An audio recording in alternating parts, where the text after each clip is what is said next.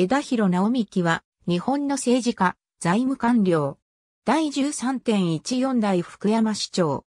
石川県総務部長、財務省主計局主計官、内閣官房内閣審議官、財務省近畿財務局長等を歴任。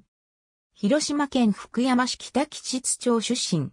母方の祖父に、渡辺電七商店創業者の渡辺電七がいる。渡辺家は法営7年から明治の廃藩置県まで代々、吉の番所の役人を務めた家系で、北吉町の番所跡には、現在渡辺神社が鎮座する。福山市立東中学校、広島県立福山茂之館高等学校を経て、1980年、一橋大学経済学部経済学科を卒業。大学では、荒健次郎ゼミに所属。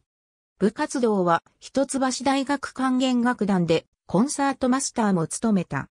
大学在学中、国家公務員試験に合格し、卒業後は、旧大蔵省に入省し、主計局総務課に配属された。1983年在フィリピン、日本国大使館書記官、1989年内閣、官房副長官秘書官、1996年から1999年まで石川県に出向し、企画開発部長、能登空港建設室長、商工労働部長、総務部長を歴任した。1998年には石川県ファッションタウン推進協議会会長として繊維産地再生を目指す通商産業省のファッションタウン構想事業において全国初の広域連携を目指し、金沢市、小松市、六西町、鳥屋町、鹿島町を連携させた事業計画構想の策定にあたった。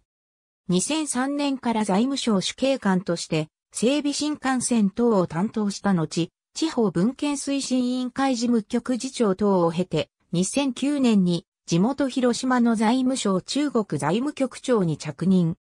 財務省大臣官房審議官を経て、2011年6月、内閣府経済社会総合研究所、総括政策研究官兼内閣官房内閣、審議官兼内閣、官房地域活性化統合事務局長、代理県内閣府地域活性化推進室室長、代理県内閣府地域自主、戦略交付金業務室長代理に就任。地方創生に取り組んだ。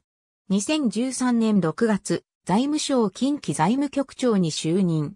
2014年、大官。同年8月、祖父が創業した株式会社鍋省に入社。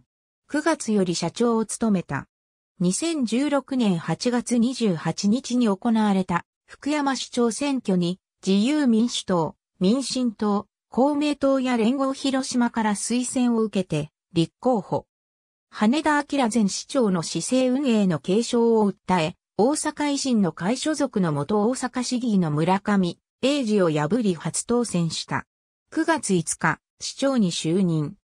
当日有権者数38万6404人、最終投票率 36.06%2020 年8月2日に告示された同選挙に自由民主党、立憲民主党、国民民主党、公明党から推薦を受け、立候補したが、対立候補が現れず無投票で再選。福山市長選が無投票になったのは、公選になってから初めてであった。ありがとうございます。